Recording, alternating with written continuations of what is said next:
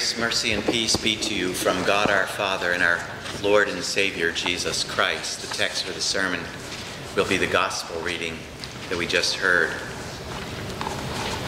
If there's one thing that becomes obvious the more you read the Holy Scriptures, it is that God, God just loves to feed people. He hates to see his children go hungry. He's like a mother who's always checking to see if we've got enough to eat. He keeps putting more and more food on our plate than we could possibly ever stuff into our mouths. It's been like this from the beginning. The first thing that he shows Adam and Eve is the food pantry in the Garden of Eden. Behold, I have given you every plant yielding seed that is on the face of the earth, and every tree with its seed and its fruit. You shall have them for food. And in the background, although you don't hear this in the Holy Scriptures, you can imagine the angels chanting from heaven, Mangia, Mangia. At least the Italian angels. When Jacob couldn't feed his family because of a famine, God put Joseph in charge of the food supply in Egypt so Joseph would have food enough to feed his whole family. As the children got bigger, they got harder to feed. 70 people went down to Egypt with Jacob to eat. Two million people left Egypt to return to the land God had promised through Abraham, which is described in nothing other than culinary terms a land flowing with milk and honey. Along the way, the people got hungry. It takes a lot of food to satisfy two million people with an appetite, and especially those teenagers. The land can't support that kind of demand, and the locals get a little stingy about sharing their bread with two million transients just passing through. The children begin to complain, and God hears their growling bellies and has compassion on them. That word compassion in the New Testament Greek, it's splagnidzo, has a lot to do with the belly, the spleen. It literally means to have an ache in the gut. In this case, it's God's belly that is growling with love and pity for his hungry people. He feeds them with bread from heaven Sounds rather miraculous, I know, but really, all of our food comes from heaven. It comes from God to us, and we should be thankful to Him for it all. But most of all, it comes to us from God through natural processes that involve tilling the ground, planting the seed, growing the grain, harvesting, milling, baking, and so forth. But in the desert, where you don't have any of these things, God skips the natural process and feeds his people supernaturally. And not just bread either. Although there, that would have been enough, but with God, there is always more than enough. There's meat to eat, too. Quail fall from the sky. All you do is gather them up, roast them over a fire, and enjoy with a little red wine. Bread and meat, all you can eat, every day, for free. The only exception and the only expectation is that when you're all said and done, you say, Thank you, Lord. There's an interesting little account from the book of Second Kings that I came across recently about the prophet Elijah. Has to do with this text before us. There was a famine in the land, and the prophet Elijah came to Gilgal, where there was a seminary for prophets. The students were all hungry, and so Elijah prepares a big pot of stew for them all. But one of them thinks that he's going to be helpful, and he gathers some herbs from the field to throw into the pot, not knowing that they were actually poisonous plants. He throws them into the pot, and the stew is inedible. Elijah then throws in some flour and says, Mangia, mangia. And it's all good. But here's the interesting part of this account. Just as he does so, a man shows up from a nearby village with 20 loaves of barley bread for Elijah. Elijah tells the man to pass it around to all of the prophets. And the man says, How can I set this before a hundred men? So Elijah repeated, Give them to the men that they may eat, for thus says the Lord, they shall eat and have some left. So he set it before them, and they ate, and they had some left, according to the word of the Lord. 2 Kings 4, if you want to check it out. And God in his heaven laughs and he says, That was fun. I should do that again sometime. Which brings us to our gospel for today. This time, one greater than Elijah is present, and this time there are 50 times the number of hungry men on hand as were present with Elijah, plus women and children. And this time, Jesus has only a quarter of the bread to work with as Elijah had. Jesus' disciples want to solve the problem of hunger by simply dismissing the crowd. This is a desolate place. The day is now over. Send the crowds away to go into the villages to buy food for themselves as if that were actually the compassionate thing to do. But Jesus replies, They need not go away. You give them something to eat. The disciples can only see the impossibility of the situation. They said to him, We have only five loaves here and two fish. Jesus can only see the hunger in this crowd of empty bellies. And he has real compassion for them. Five loaves and two fish are nothing when it comes to a crowd of this size. But this Lord knows how to turn nothing into plenty, even everything out of nothing. He said, Bring them here to me. Then he ordered the crowds to sit down on the grass, and taking the five loaves and the two fish, he looked up to heaven and said a blessing.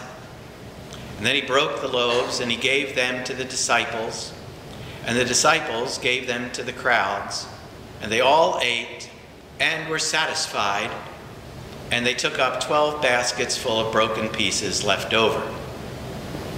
And the Father in heaven laughs and his delight fills all of the heavens. And he says, I haven't had this much fun since yesterday when I fed the whole world.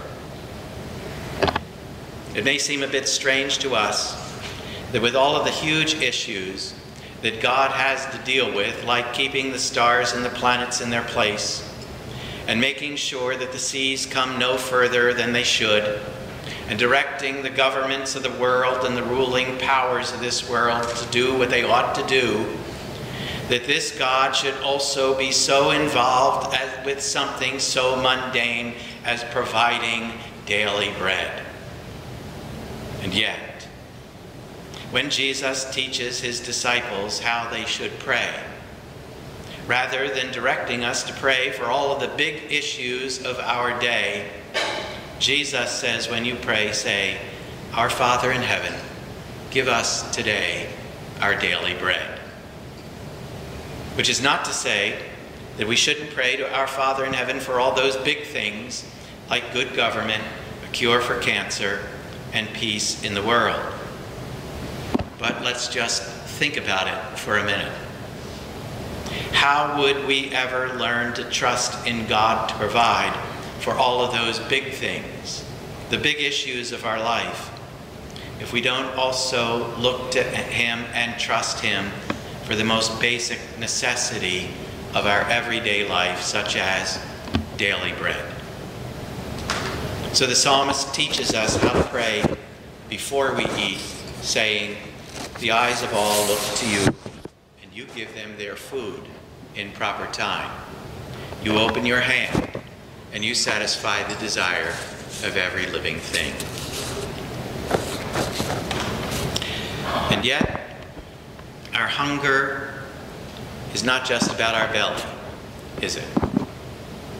It's not just bellies that growl because they are empty. Hearts growl also. And they need to be fed too, or they will also starve. We can spend big bucks on the healthiest foods and still hunger and thirst for righteousness, which is just what the prophet Isaiah was saying in our Old Testament reading. Why do you spend your money for that which is not bread, and your labor for that which does not satisfy? Incline your ear and come to me, hear that your soul may live. How often does your heart growl with guilt or regret or sorrow or despair or loneliness or meaninglessness?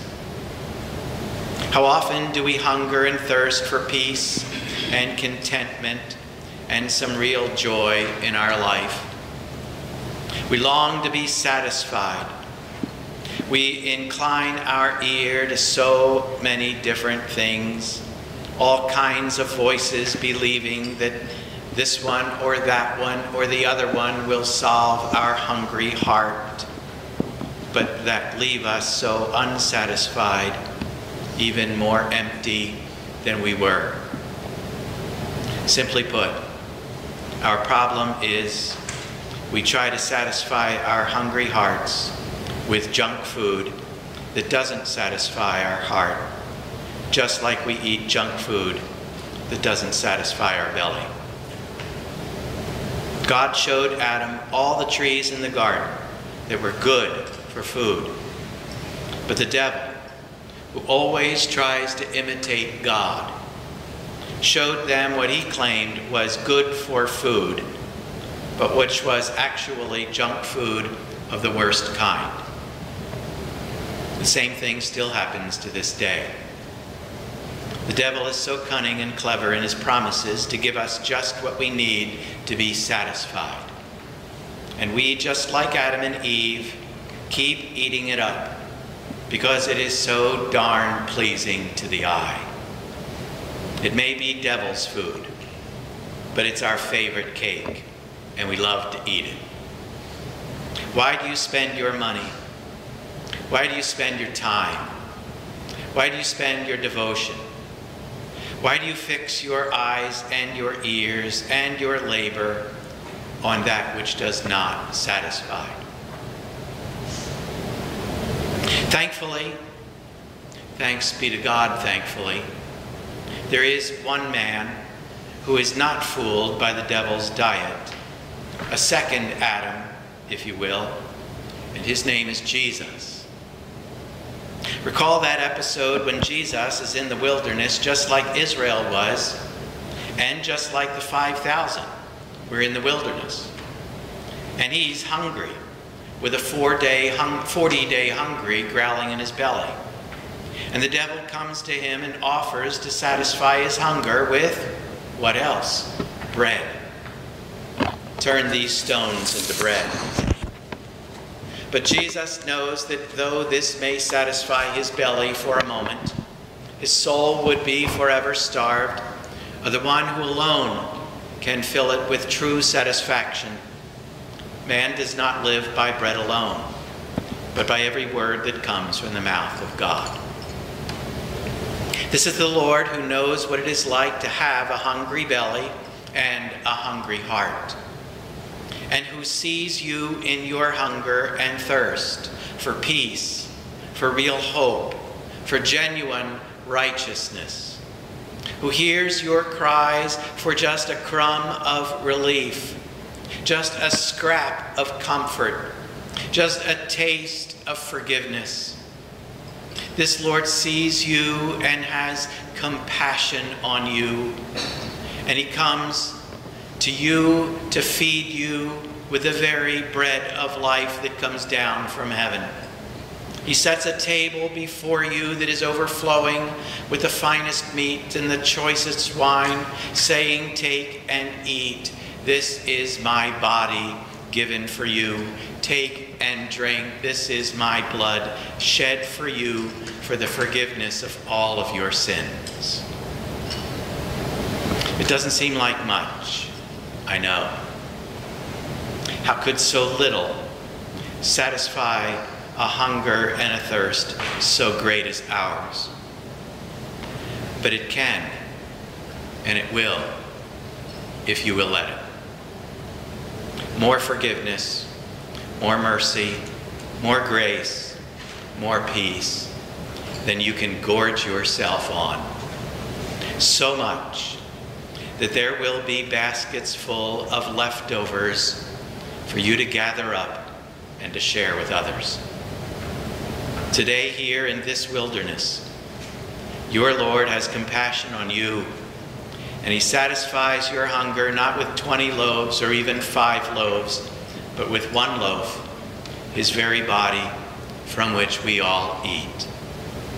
From His nail scarred hands, He feeds you today with all of the forgiveness and the mercy and the peace and the joy that our hungry hearts can hold. And as if that were, and as it was there in that wilderness, so it is here in this wilderness. They all ate and were satisfied, and they took 12 baskets full of broken pieces left over. Here again, in this meal, enough left over to take home and share with others. There will come a day when all this kind of eating and drinking will come to its end. A day when all hunger and thirst will be gone forever. For the children of God, at least. St. John sees the end that awaits us in his revelation, and he says, Never again will they hunger, never again will they thirst. And there, in that place, at that time, will be Adam and Eve, who took the devil's advice and ate the forbidden fruit, eating and drinking from the hand of him who refused to eat the devil's food. And Jacob and his family of 70, who ate from the hand of Joseph, will now eat from the hand of the Lord. And the two million who ate the manna and the quail and drank from the rock in the desert, all taking their food from his hand. And the 5,000 who were fed with five loaves and two fish, all eating from his hand, and all who ate his body and drank his blood, seated at the banquet table of the Lord himself, dishing out the finest meat and the choicest wine, and everyone, everyone, everyone will be satisfied. But until then, until that day comes, the cry goes out why do you spend your money for that which is not bread, and your labor for that which does not satisfy? Listen diligently to me, and eat what is good, and delight yourselves in rich food. And the angels all cry, Mangia, Mangia. Amen.